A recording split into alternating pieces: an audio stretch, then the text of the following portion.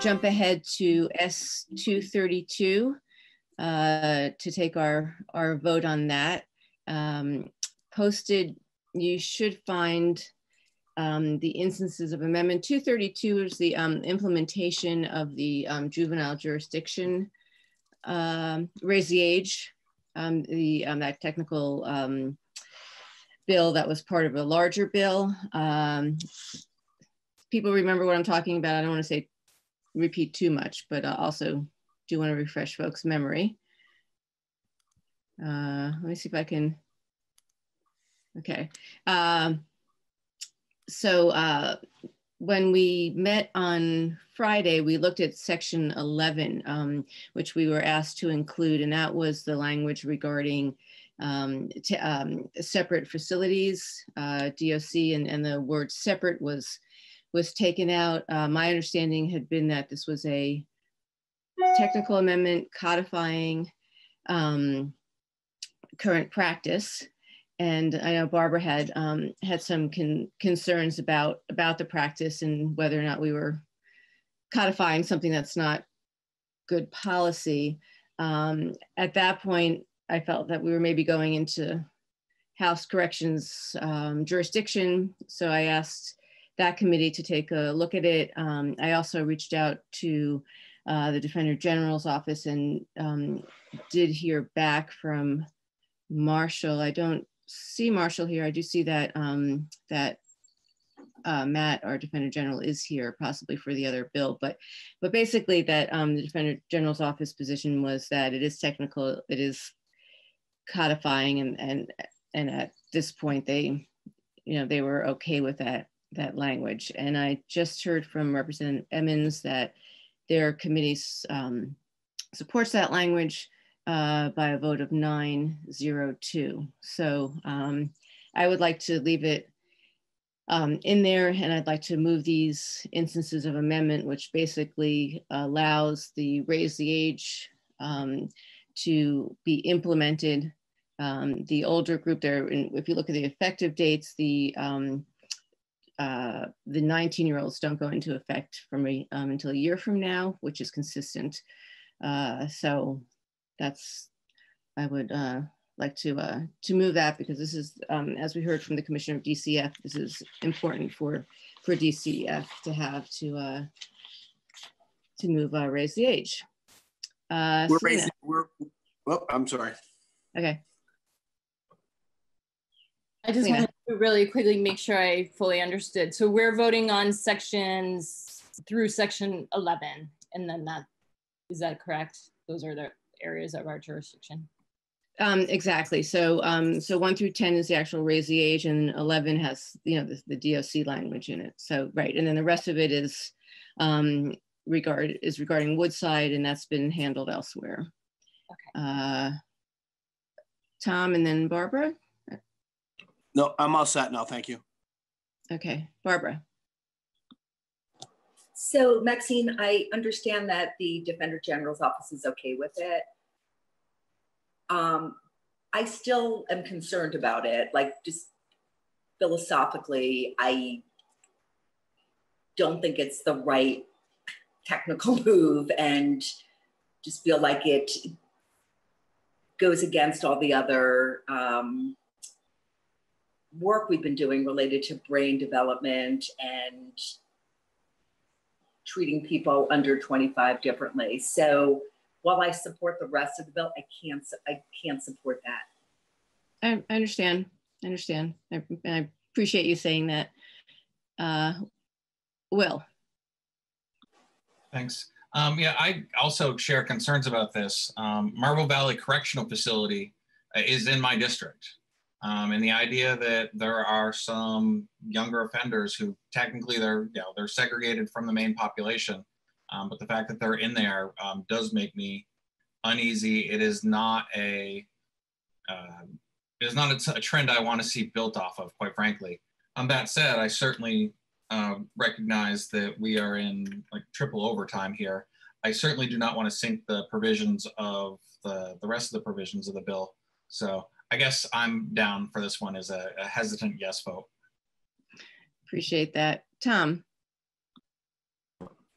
Yeah, I, I guess I, I just need a uh, a little background or an update on exactly what we're talking about. um, okay, so let me uh, let me pull up 232. That might be the easiest because then you'll you'll see the um, the language. Uh, yeah, yeah, I have it in front of me here. So okay, so I don't, but I believe the um, the word separate is um, is taken out, right? That's to be deleted, and so it leaves the word appropriate. Okay. And that's that's it because because right now my understanding from from testimony is that um, that uh, in terms of separate, you know, like separate facilities, DCF, you know, cannot do that, but they still will separate populations according to federal law and and and otherwise. And that appropriate is broad enough to, if at some point separate um, facilities are possible, appropriate is broad enough to encompass that. I don't know, Martin, do you want to add anything? I know you looked at this as, as well.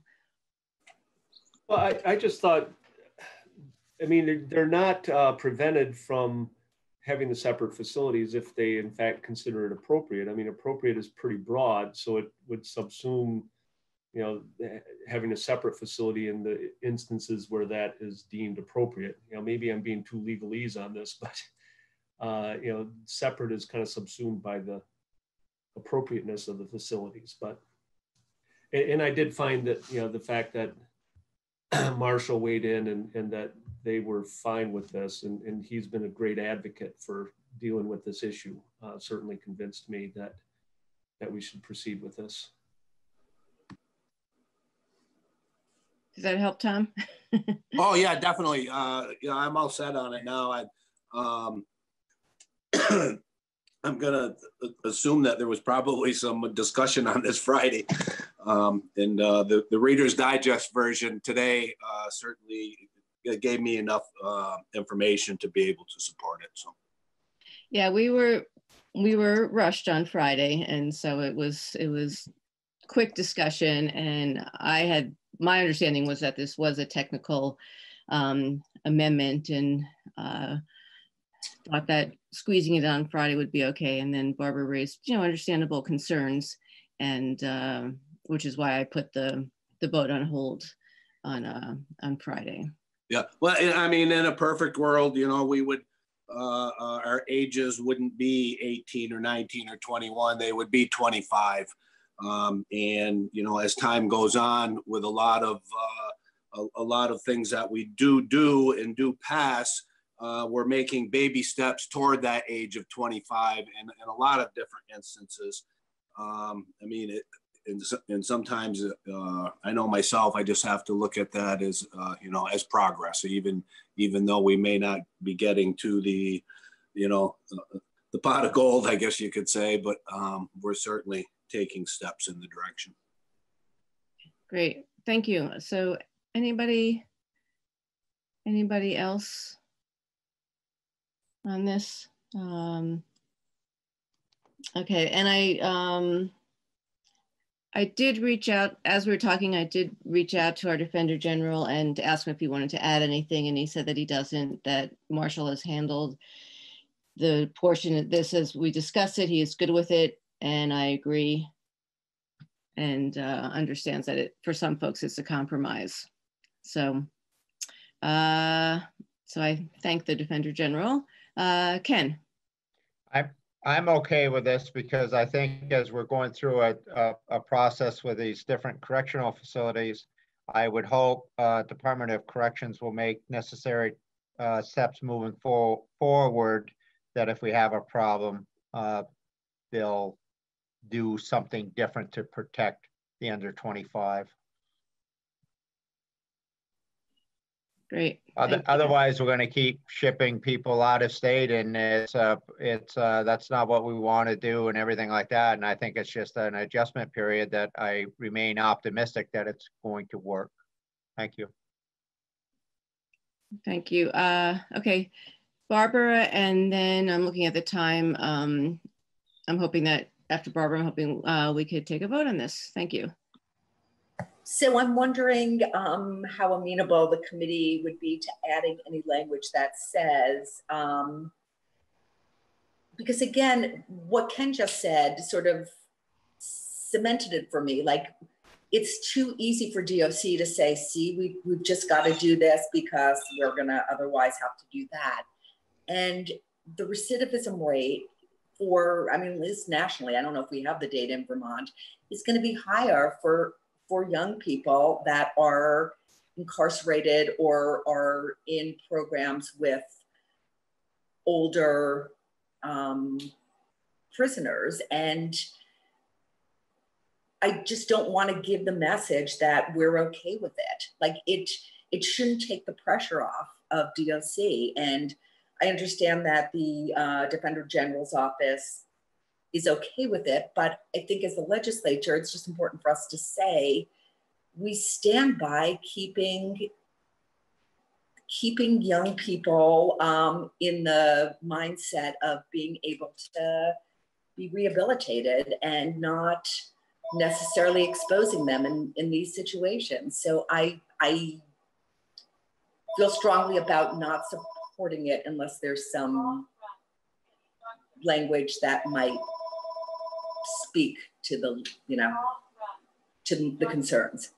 No, I, I, I understand that. I do see that Defender General Matt Valerio came on. Um, did you want to weigh in or are you, I wasn't. Well, I've, I've been watching the whole time. Um, and, uh, you know, I, I, uh, I'm, I'm clearly familiar with the, the bill.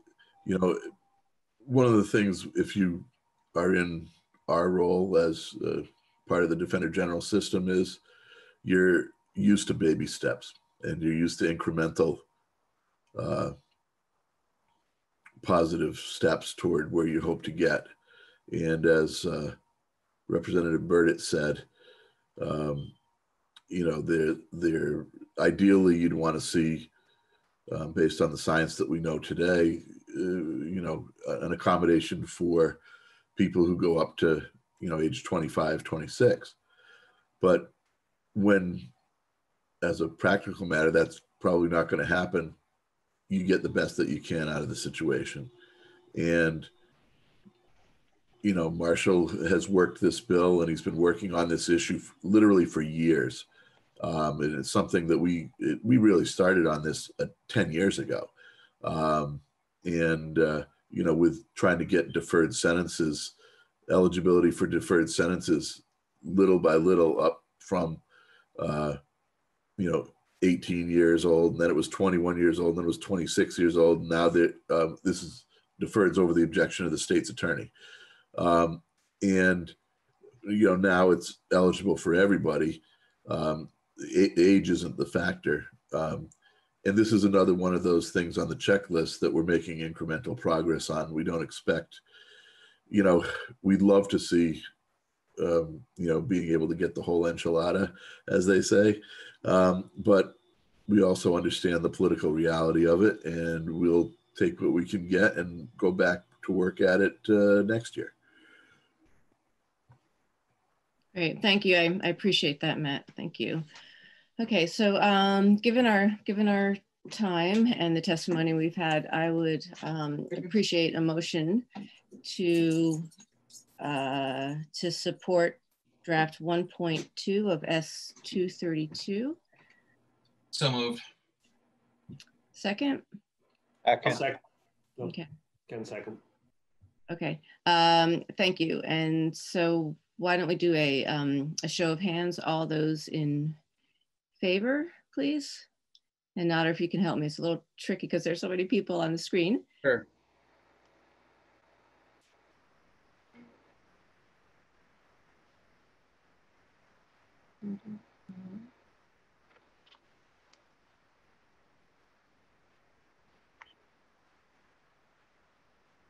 Uh, okay, and then all those opposed.